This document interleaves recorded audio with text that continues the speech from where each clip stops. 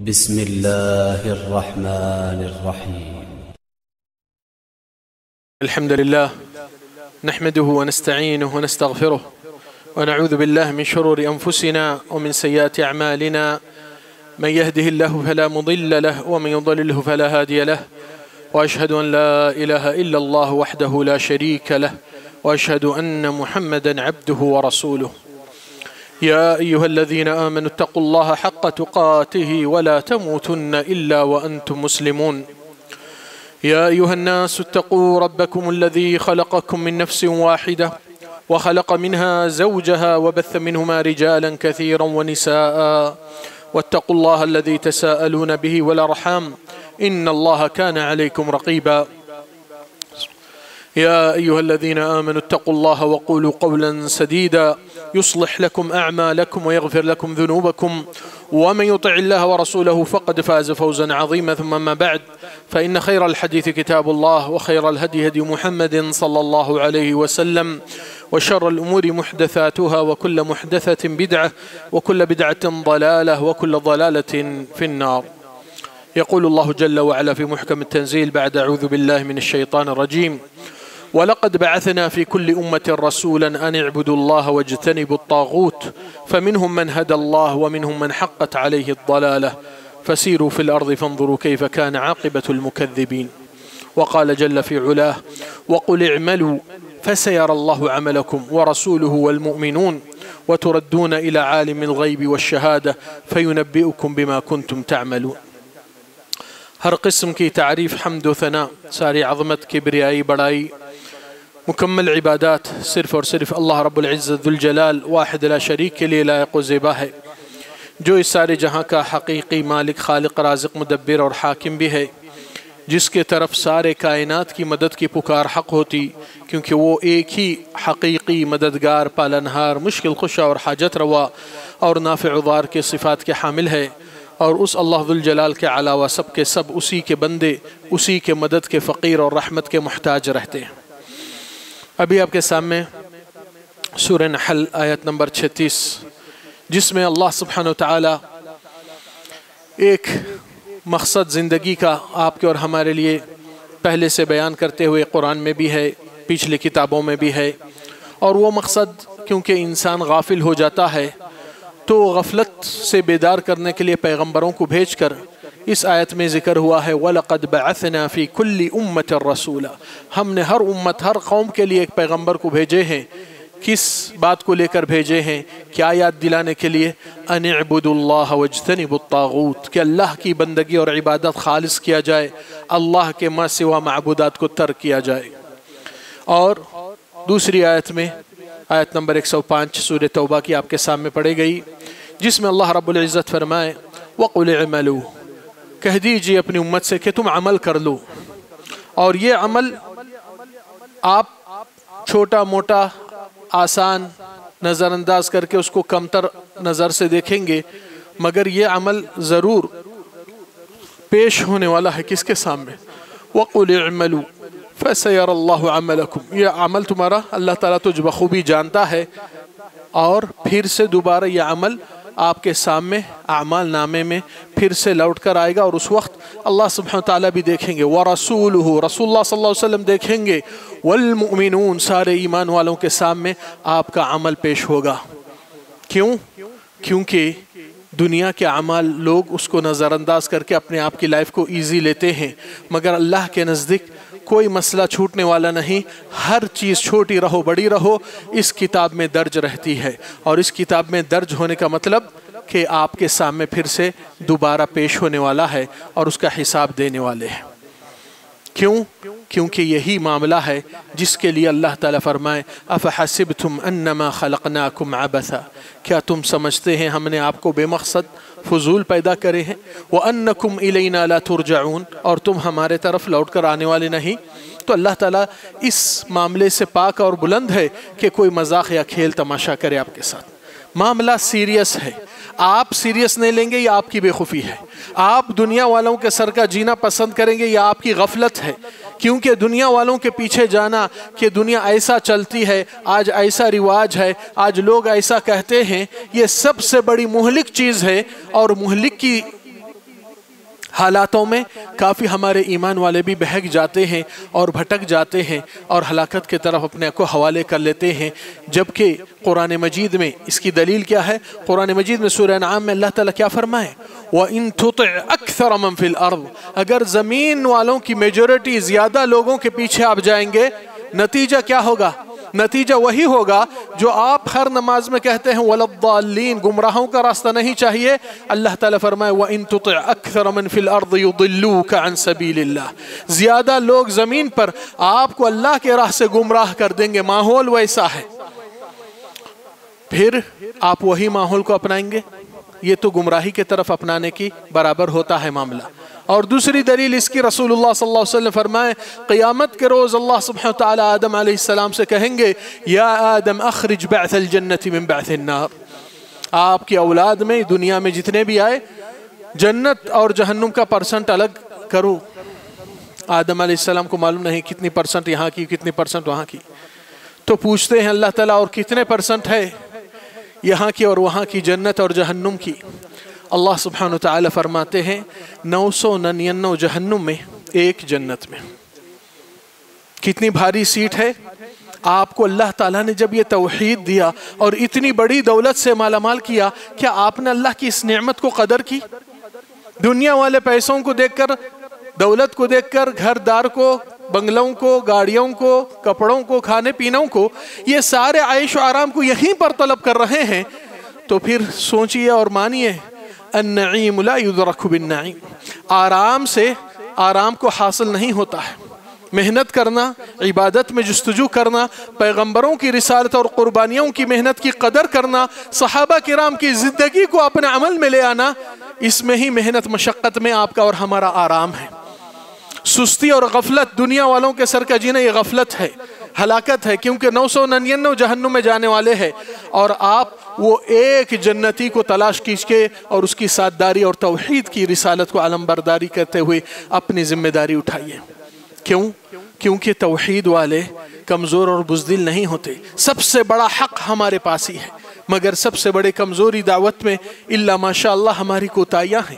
جو ہم دیکھتے ہیں کہ اگر توحید کے لیے اتنی غیرت مندی ہمارے اندر ہوتی تو توحید آج کہاں سے کہاں تک شر کو مٹا کر دور دور تک پہنچ سکتا تھا۔ دو مثالیں لے لیجیے۔ یہ چھوٹا عمل نہیں، یہ پیغمبروں کا عمل تھا، بڑا مشن ہے۔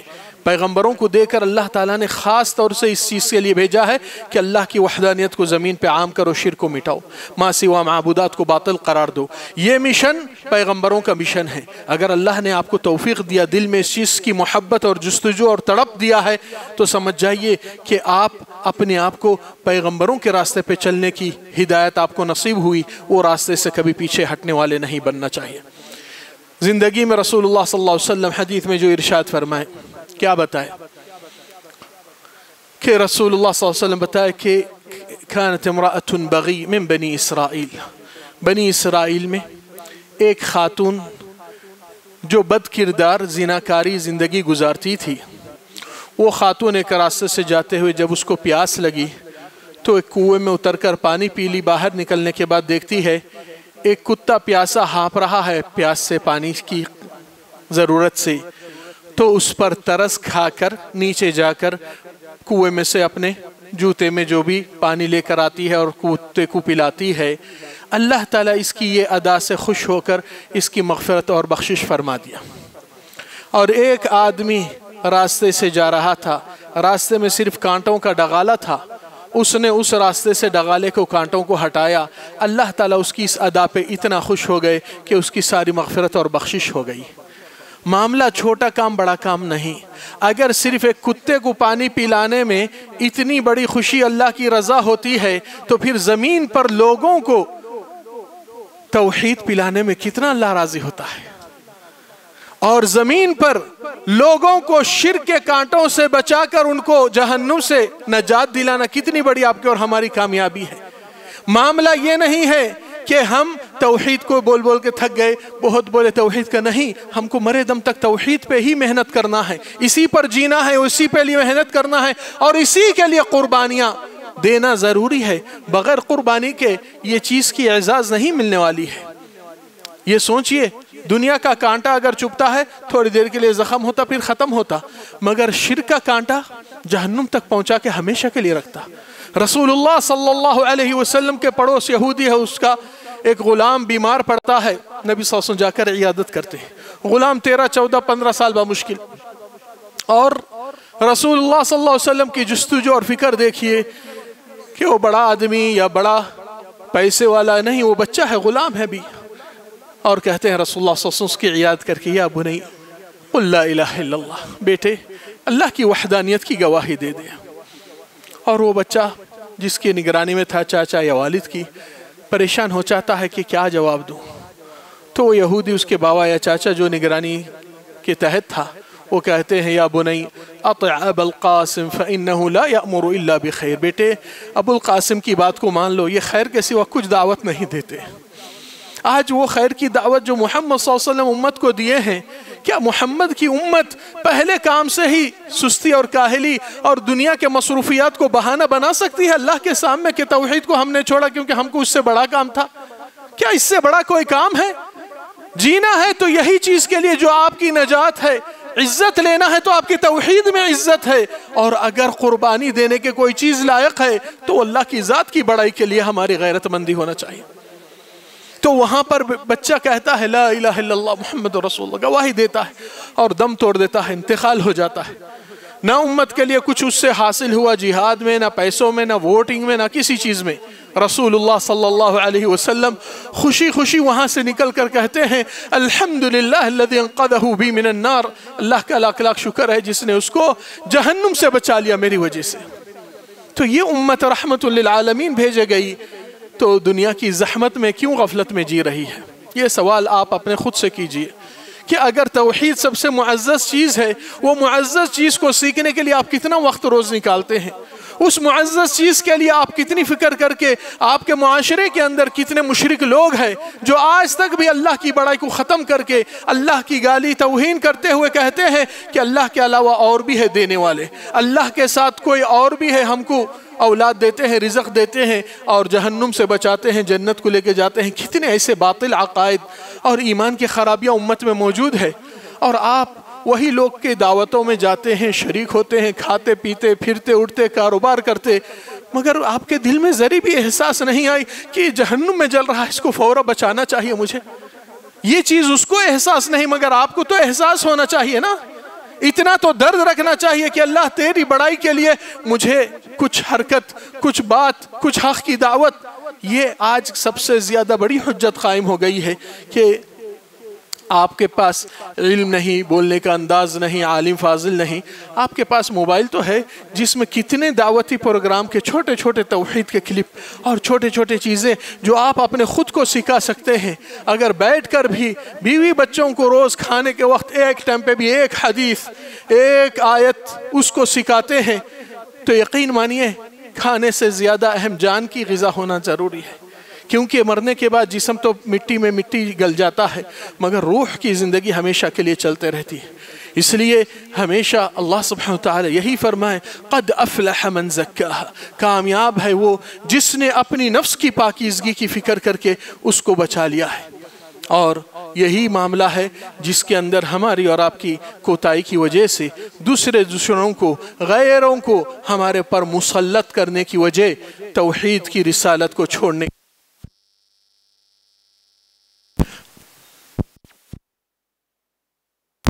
کافی امت پر بھاری پڑنے والی ہے اللہ ماشاء اللہ کیوں؟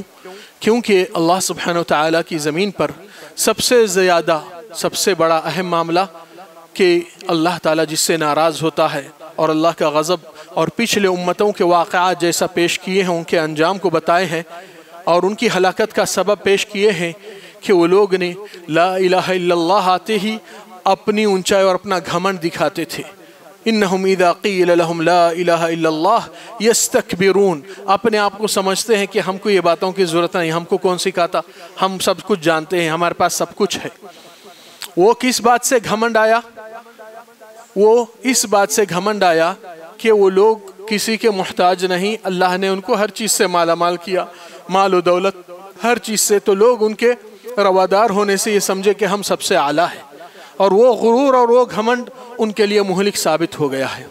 اس لیے یہاں پر آپ اور ہم اپنی زندگی میں اگر سب سے بڑی کامیابی لینا چاہتے ہیں، تو اس پروردگار جس نے ہم کو اور آپ کو اتنی بڑی نعمت سے مالا مال کیا، اتنی بڑی نعمت سے نوازا ہے، اس کے شکر گزار بندے بن کر جیے آپ راستے میں چل کر دیکھیے، لاکھوں کروڑوں لوگ ہیں۔ کیا سب موحد ہے اکثر مشرق کفار ہے اور اللہ تعالیٰ نے ان ساروں کے بیچ میں سب کو جہنم کا ایندھن بنایا، آپ کو چن کر نکالا۔ تو پھر آپ اس نعمت کی بھی قدر اور شکر گزاری زندگی نہیں جی سکتے کیا؟ یہ احساس ہونا ضروری ہے۔ اگر یہ چیز کی قدر نہیں کریں گے تو پھر شکر گزار بھی نہیں بن سکیں گے آپ۔ لہذا غور اور فکر کرنا چاہیے کہ زمین پر جہاں پر اللہ کی وحدانیت بلند ہوتی ہے، وہی ادا کو اللہ تعالیٰ سب سے زیادہ پسند کرتا ہے۔ اور وہی چیز کے اوپر جنت جہنم کا فیصلہ قائم ہوا ہے۔ اور وہی چیز کے اوپر اللہ تعالیٰ ہم سے سوال اور امتحان لے گا کہ آپ نے اللہ کی بڑائی میں، اللہ کی اس توحید میں آپ نے محنت کیا کیا، قربانی کیا، دیا۔ اللہ نے سب کچھ آپ کو نوازا۔ اللہ تعالیٰ کی توہین اور اللہ کے ساتھ شرک کرتے ہوئے لوگ دنیا میں اللہ کو گالی دیتے تھے کہ اللہ تعالیٰ برابر کا ہے۔ اللہ تعالیٰ کے ہٹ کے اور بھی ان سے بہتر دینے والے ہیں۔ آپ نے رد عمل کیا دیا۔ وہی گالی آپ کو پہنچتی ہے۔ تو خون خرابے پولیس ناکے ہوتے ہیں۔ کیوں؟ اپنی شخصیت کا اعتبار بہت بڑا ہے۔ ہم بہت عالی شان ہیں۔ سب سے بڑا وہم کہ میں اہم۔ جب اہم ہونا چاہتے ہیں تو پھر اللہ کی وحدانیت کی بندگی، سچائی کے ساتھ اس دعوت میں مشن لگاؤ، قربانی لگاؤ، جب آپ کی اہمیت بن سکتی ہے اخلاص کے ساتھ اگر قبول ہو گیا ہے یہ عمل۔ اس لیے ہماری اور آپ کی زندگی میں محنت، جستجو اور تڑپ وہی ہونا چاہیے جس کے لیے رسول اللہ صلی اللہ علیہ وسلم تڑپ اور قربانیاں اور خون پسینہ بہا کر اتنی زندگی کی سیرت طیبہ میں آپ دیکھتے ہیں کہ توحید کے لیے آپ نے کیا نہیں کیا۔ پھر صحابہ کرام اسی طریقے سے محنت کیا اور جستجو اور تڑپ رکھے ہیں۔ اسی کے اوپر جیتے تھے، اسی کے لیے مرتے تھے اور وہی زندگی کا نصب العین مقصد ہو گیا۔ آج ہمارے پاس کتنوں سے سوال کریں گے، بھائی آپ کیوں جی رہے ہیں؟ آپ کی زندگی سے کیا حاصل ہوا ہے؟ آپ زندہ کیوں ہیں؟ بھائی ذمہ داریاں ہیں بیوی بچوں کے، وہ کرتے ہوئے، کھلاتے ہوئے، پلاتے ہوئے۔ اللہ سبحانہ و تعالی ایک مقصد کے لیے آپ کو پیدا کیا۔ وہ مقصد کو حاصل کرنے کے لیے زندگی میں کھانا پینا ضرورت ہے، تاکہ طاقت رہی تو وہ مقصد کو آپ حاصل کریں گے۔ مگر ہم اور آپ نے کیا کیا کہ جو ضرورت ہے قوت آنے کے لیے، وہ کام کے لیے ہم اسی کو ہی مقصد بنا لیا۔ کھانے کو وہ مقصد بن گیا کہ ہم زندگی میں رہیں گے تو ہماری چاہت، ہماری پسند، ہماری فلان ہوٹل کی فلان فلان ڈش، فلان کا آرڈر، وہ مقصد ہو گیا تو پھر اصل مقصد کتنا دور ہو گیا ہم سے اور آپ سے؟ کھانا، پینا، پہننا، رہنا، سواری استعمال کرنا تاکہ یہ سب استعمال ہو اللہ کی بڑائی اور وحدانیت میں۔ یہ مقصد نہیں ہے کہ ہمارے پاس بھی ایسا گھر ہے، ان کے پاس بھی ایسا ہے تو ہمارے پاس بھی عالی شان ہے۔ اللہ تعالیٰ فرمائے قرآن مجید میں وَاللَّهُ فَضَّلَ بَعْضَكُمْ عَلَى بَعْضٍ فِي الرِّزْقِ اللہ تعالیٰ رزق دینے میں ایک کو کم، ایک کو زیادہ ایسا دیا ہے۔ اور اگر یہ جملے میں اللہ تعالیٰ یہ کہہ دے واللہ فضل بعضکم علی بعض بالرزق. اللہ تعالیٰ تم کو ایک سے بہتر بنایا ہے رزق دے کر. تو اس کا مطلب جس کو زیادہ پیسہ ملا وہ سب سے بہتر ہوتا ہے. حالانکہ ایسا معاملہ نہیں تھا. مگر اللہ تعالیٰ کا دینا یہ اللہ کی تقسیم ہے اور لوگوں کے دلوں میں، خاص طور سے مؤمنین کے دل میں، کسی مؤمن کو کچھ کامیابی، کچھ ترقی، کچھ دولت ملے تو اس کے دل میں حسد و کپت کینہ بغض و حسد کبھی نہیں آتا. کیوں؟ کیوں اس نے قرآن مجید میں پڑھ چکا ہے؟ نحن قسمنا بینہم معیشتہم فی الحیات الدنیا۔ اللہ تعالیٰ فرمائے، ہم نے ان کے روزی روٹی اور رزق کو ہم نے بانٹ کر دیا ہے۔ جب اللہ تعالیٰ بانٹے تو آپ کو اور ہم کو کیا حق ہے اعتراض کا دل میں کپت کینہ بغض و حسد کرنا، بھائیوں سے بہنوں سے؟ یہ احساس کیجیے کہ اللہ کے بانٹنے پر اعتراض آپ اور ہم نہیں کر سکتے اور نہ کرنے کا حق ہے ہم کو آپ کو۔ صرف اللہ سبحانہ وتعالی وہ امتحان کے لیے دیا ہے اور امتحان کی گھڑی کا وقت کم ہوتے جا رہا ہے، بڑا نہیں۔ اس لیے پچھلے وقت کے جتنے بھی ہماری اور آپ کی غفلتیں اور کوتاہیاں اور دوریاں رہے تھے، اس سے اپنے آپ کو اب بچانے کا موقع آیا ہے۔ اگر توحید کے لیے آپ اور ہم اب نہیں جاگیں گے، توحید کی سربلندی کے لیے محنت قربانیاں نہیں لگائیں گے، تو پھر سوچئے کہ یہ توحید کو کون اعزاز دینے والے ہیں آگے؟ کیا کوئی غیر امت کے، غیر یہود و نصارہ آ کر اس دین کی اعزاز کریں گے؟ اور اس توحید کو اور بڑھا دیں گے؟ وہ تو خود مشرق اور کفر کی زندگی جیتے ہیں۔ آپ کی اور ہماری ذمہ داری کہ یہ قرآن جب پڑھتے ہیں یا سنتے ہیں، یہ احساس کر کے کیجیے کہ یہ آیت میرے لیے نازل ہوئی۔ میں مؤمن ہوں، مسلمان ہوں اور مجھ کو اس کتاب کی قدر ہے۔ کیا فائدہ ہوا کہ آپ بچپن سے کہتے آتے ہیں کہ ہمارا دین سچا ہے، ہمارے نبی سچے ہیں، ہماری قرآن سچی ہے، ہمارا رب سچا ہے، ہمارا مذہب سچا ہے۔ تو پھر آپ کچے کیوں بنے بھائی؟ آپ بھی سچے بنو۔ آپ بھی اپنی اسلام اور توحید کے لیے غیرت مند بنو۔ آپ بھی اپنی قربانیاں دو تاکہ اللہ کے پاس کچھ عذر بہانہ تو ملے کہ اللہ تیری توحید میں توہین کو میں نے برداشت نہیں کیا۔ تیری شرک زمین پر جب ہوتی تھی، میرے دل میں تکلیف اور دکھ ہوتا تھا، اللہ، جب یہی شرک سامنے نظر آتا ہے، تو دل میں احساس اور تڑپ آ جائے کہ اللہ، اس کو دعوت نہیں دینے کی کوتاہی اور غفلت مجھ سے اگر ہوئی، تو مجھے اس گناہ سے معاف کر دے۔ اے اللہ، یہ چیز جو ہو رہی، مجھے دل کو گوارا نہیں ہو رہی، بہت تکلیف ہو رہی، تیری بڑائی کی توہین کرتے ہیں۔ اللہ، تیرے سوا غیروں کو پکارتے ہیں۔ غیروں کے نامہ آٹووں پہ، بسوں پہ، مختلف جگہوں پہ، ان کی مدد طلب پکار ہو جاتی ہے۔ اللہ، تیرے سوا کوئی مددگار نہیں۔ یہ کتنے بار احساس ہوا دلوں میں؟ کتنے بار یہ تڑپ اور تبدیلی ہمارے اندر پیدا ہوئی؟ یہ غیرت مندی اگر آپ کے خود کے احساس میں نہیں، تو دوسروں کو پہنچانا تو دور کی بات رہے گی اللہ، ماشاءاللہ۔ لہذا توحید سیکھتے ہوئے، زندگی اس کے اوپر گزارتے ہوئے، اس کے طرف دعوت دیتے ہوئے، کبھی مومن بیزار نہیں ہوتا، بلکہ خوشی حالی میں یہ دولت کو اور اضافہ کر کے بڑھاتا ہے۔ ذمہ داری بڑی ہے، پیغمبروں کا مشن ہے۔ محمد صلی اللہ علیہ وسلم سارے پیغمبروں سے یہ رسالت کا اختتام لیے ہیں اور ذمہ داری امت کو دی گئی ہے۔ اور یہ امت کی ذمہ داری ہے کہ نبی صلی اللہ علیہ وسلم کی اس مشن کو فیل نہ کرے، بلکہ آپ کی سستی اور کاہلی سے استغفار توبہ کرے۔ کیوں؟ کیونکہ رسول اللہ صلی اللہ علیہ وسلم کی دین کی نصرت یہ مسلمان پر فرض ہے۔ اور وہ اتباع رسول اور اس دین کی کامیابی اور کامرانی کے لیے جستجو اور فکر اور سوچ تو ہونا چاہیے۔ اللہ سبحانہ وتعالی قرآن مجید میں سورہ توبہ نازل فرمائے۔ توبہ کس کا ہوا؟ کس چیز پہ ہوا؟ کیا چیز کے لیے ہوا؟ نبی صلی اللہ علیہ وسلم کے ساتھ جنگ تبوک میں منافقین آدھے رستے سے تو پلٹ کر آ گئے اور واپس آنے کے بعد نبی صلی اللہ علیہ وسلم اس جنگ سے جنگ تو نہیں ہوئی۔ دشمن وہاں سے فرار ہوا۔ نبی صلی اللہ علیہ وسلم کے سامنے لائن لگ گئی منافقین کی، جو کہتے تھے اللہ کے نبی ہمارے پاس گھر میں یہ ٹینشن تھا، میرے پاس یہ بخار تھا، جھوٹے بہانے، جو نہیں آنے کی وجہ کیا تھی۔ اور رسول اللہ صلی اللہ علیہ وسلم سارے منافقین کو ٹھیک ہے ٹھیک ہے، اب جو بولے تمہاری بات کو مان لیا، مگر اندرونی بات کو اللہ کے حوالے کر دیا۔ تو منافقین کا درجہ سب سے جہنم کا نچلا حصہ ہے۔ نہ دین کے کام میں حصہ لیتے ہیں، نہ ہمت افزائی کرتے ہیں، نہ اس کی فکر کرتے ہیں، نہ دین کی ترقی کی ان کو جستجو تڑپ ہے۔ پھر ان لائن میں تین صحابہ تھے جو منافقین نہیں تھے۔ یہ لوگ نے سچائی کو اختیار کیا۔ سچائی کڑوی ہے تو بھی اختیار کر لو، بہتر ہے، اس میں نجات ہے۔ رسول اللہ صلی اللہ علیہ وسلم کے سامنے آئے ہلال ابن امیہ مرار ابن ربیع، کعب ابن مالک رضی اللہ عنہم، اور کہے، یا رسول اللہ ہمارے پاس کوئی عذر نہیں تھا۔ ہم اچھی حالت میں تھے، ہماری سواری بھی تھی، مگر تھوڑی سی سستی کاہلی میں آپ آگے تک نکل گئے، ہم بولے آپ کہاں؟ تیس ہزار کی فوج میں نبی ہم کو کہاں یاد کریں گے؟ اتفاق سے معاملہ طویل ہے قصہ کعب بن مالک کا۔ خلاصہ یہ ہے کہ رسول اللہ صلی اللہ علیہ وسلم و منافقین کو تو چھوٹ مل گئی ان کے جھوٹے بہانوں سے، مگر یہ تین صحابہ کے ساتھ نبی صلی اللہ علیہ وسلم ناراض ہو گئے اور صحابہ کو کہہ دیے کہ ان تینوں سے بائیکاٹ کر دو، کوئی بات چیت ان سے نہیں کرنا۔ اور نہ کوئی ان کو مہمان بنانا، نہ ان کے پاس مہمان بننا۔ حتیٰ کہ رسول اللہ صلی اللہ علیہ وسلم یہ صحابہ کو چاہتے ہوئے بھی ان سے یہ چیز سے ناراض ہو گئے۔ اب سوچئے، اگر آپ کی اور ہماری زندگی غفلت کی رہیں گی، یہ لوگ صرف نبی کا ساتھ دو مہینہ دینے میں پیچھے رہ گئے تو نبی اتنا ناراض ہو گئے کہ کیسا موقع آپ کو ملا اور آپ نے یہ موقع کو چھوڑ دیا۔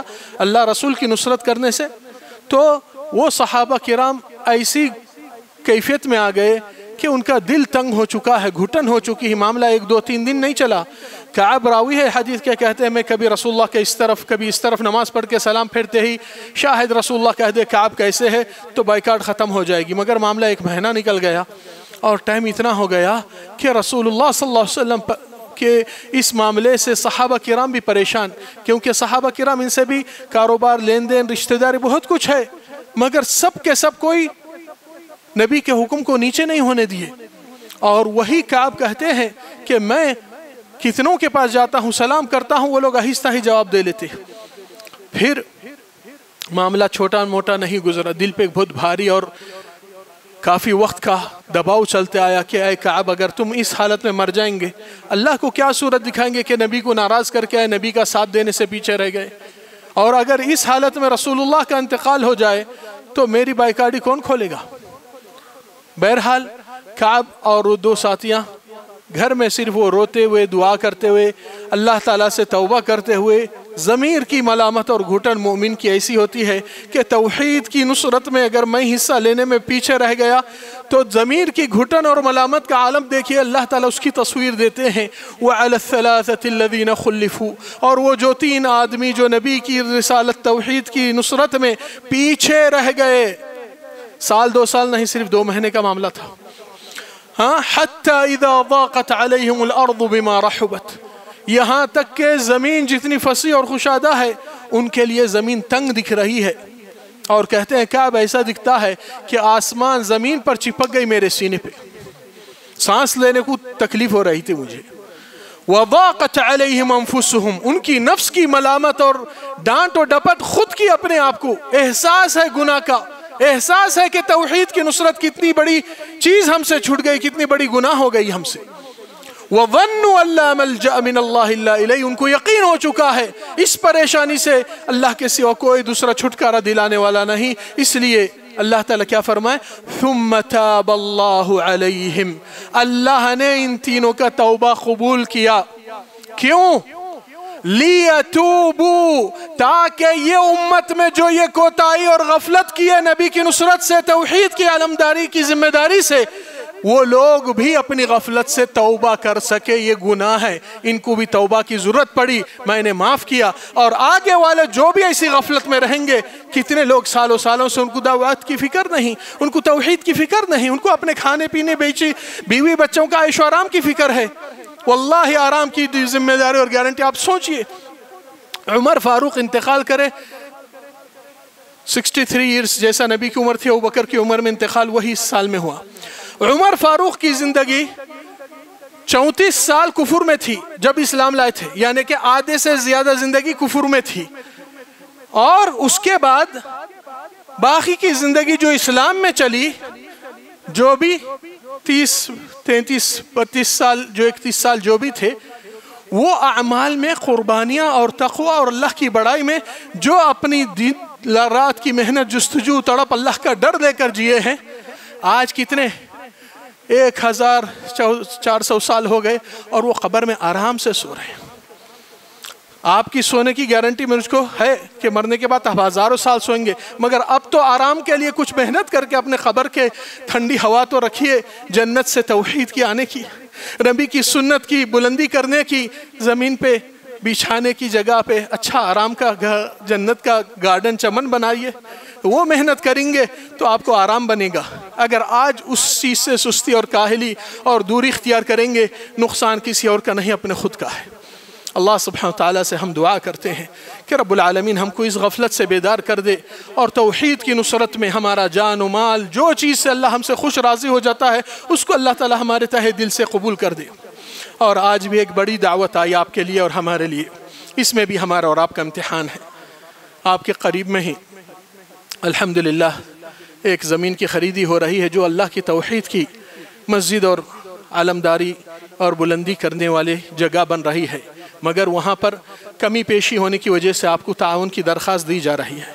اور ہم دل کھول کر جان دے کر قربانی توحید کے لیے بہت تڑپ سے دینا چاہیے کہ اللہ ہمارا جو کچھ ہے یہ تیرا ہی دیا ہوا ہے اور تیری راہ میں دینے سے یہ ہمارے لیے پھر تو نے وعدہ کیا ہم کو اس سے بہتر لوٹائے گا۔ ہم کو تصدیق ہے کہ یہ صدق جاریہ ہمارے لیے چلتے رہے گی۔ مرنے کے بعد جب سب کوئی ہم کو بھول جائیں گے، یہ صدق جاریہ ہمارے لیے چلتے آتا ہے۔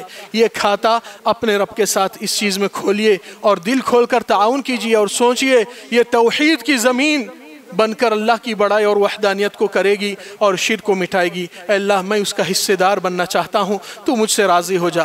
چھوٹا رقم، بڑا رقم مت دکھیے، مگر ایک سچے دل سے اور تہ غیرت مندی سے اس رقم کو ادا کیجیے، تاکہ اللہ تعالیٰ کل کے دن یہ چیز شاہد چھوٹی چیز آپ کے نظر میں ہوں گی، مگر شاہد یہی آپ کی مغفرت اور بخشش کا سامان بن جائے۔ توحید کے لیے قدم اٹھانا، توحید کے لیے ایک تڑپ، جستجو رکھنا، توحید سے ایک محبت اور سچائی دکھانا، یہ اللہ کو سب سے زیادہ پسندیدہ ادا ہے اللہ تعالیٰ ہمارے اور آپ کے صدقات کو قبول کرے اور کہنے سے زیادہ کرنے کی توفیق عطا فرما اقول ما تسمعون واستغفر الله العظيم لي وكلكم من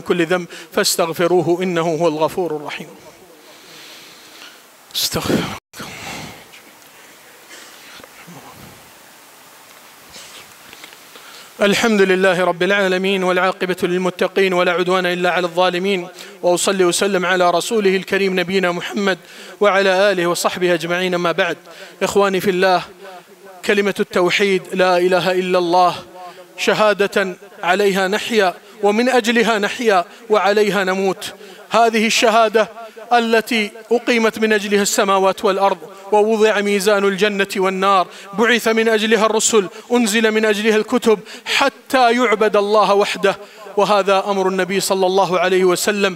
بعثت بين يدي الساعة حتى يعبد الله وحده. وهذا من أهم الأمور التي ينبغي لكل مؤمن أن يهتم بها. هذه من أفضل الأعمال التي يدعو بها المؤمن إلى الله ويكون غيورا على توحيد الله سبحانه وتعالى. أيها الإخوة أمر الله عظيم. هو هو الذي في ركوعنا نقول سبحان ربي العظيم. فإذا كان ربي عظيم يجب أن يكون عملي أيضا لذلك العظيم عملا متقبلا ومباركا ومخلصا. نسأل الله سبحانه وتعالى بأسمائه الحسنى وصفاته العلى أن ينفعنا بما سمعنا وأن يعلمنا ما ينفعنا وأن يزيدنا علما. اللهم أصلح لنا ديننا الذي هو عصمة أمرنا وأصلح لنا دنيانا التي فيها معاشنا وأصلح لنا آخرتنا التي إليها معادنا. اللهم اجعل الحياة زيادة لنا في كل خير واجعل الموت راحة لنا من كل شر. عباد الله إن الله يأمر بالعدل والإحسان وإيتاء ذي القربى وينهى عن الفحشاء والمنكر والبغي. يعظكم لعلكم تذكرون. اذكروا الله يذكركم ادعوه يستجب لكم ولذكر الله أكبر والله يعلم ما تصنعون.